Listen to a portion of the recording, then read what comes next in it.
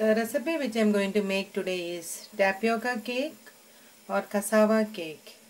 Ingredient for it is tapioca 1 kg grated, 1 stick of butter, evaporated milk 1 can, coconut milk 1 can, sugar half cup, vanilla essence half teaspoon, pinch of salt.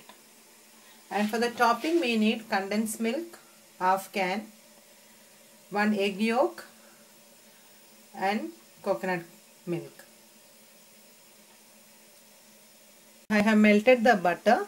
So first I will add the butter to a baking tray and add the grated cassava along with the sugar and coconut milk and evaporated milk and we'll mix all together and we will then preheat the oven to 350 degree Fahrenheit and uh, we will bake it for 45 minutes.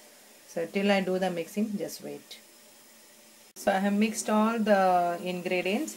Now I will bake it for uh, 50 to 1 hour in 350 degree Fahrenheit. So till then we will wait. The cassava cake has been done and for the topping I have uh, mixed the egg yolk, condensed milk and the coconut milk and I'm going to just spread it over the cassava cake and again bake for 20 minutes. So till then we will wait.